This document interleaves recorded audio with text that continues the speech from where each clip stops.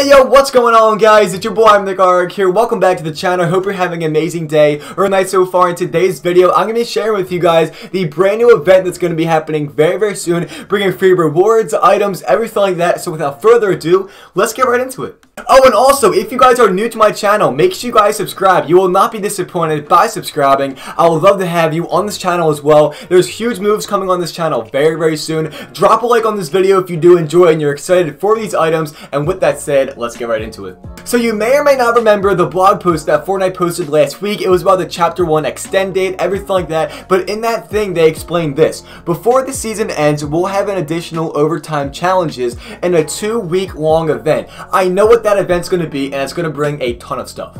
So if you guys remember the Share the Love Valentine's Day event from last year, that's exactly what's going to be happening this year, but it's going to be a lot better. So before I get into anything, I want you to let me know down below in the comment section personally, were you playing the game when the Share the Love event first came out last year around this time? I want to know your thoughts on that. I would love to know and I'm genuinely interested in what you guys think. But now let's get right into what you can expect with this event. Let's go.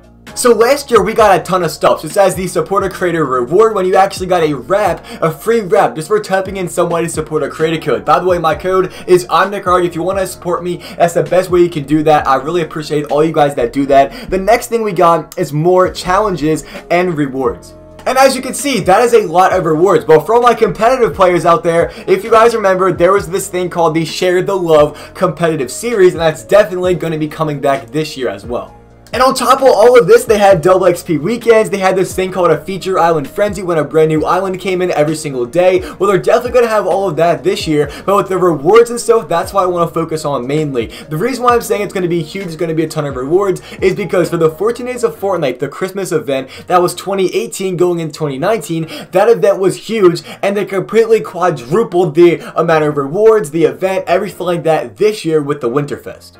And remember, they gave us two free skins with this Winterfest event, so they have no fear in giving us new skins. I guarantee they might do it for this event. I want to share with you guys a calendar real quick, a layout of all the updates coming soon. So February 6th, which is going to be a week from now on this Thursday, you can see the 11.50 update, and it's going to start the two-week event. The next week is going to be the event, still going on, and then week after that's going to end the event and the beginning of Season 2.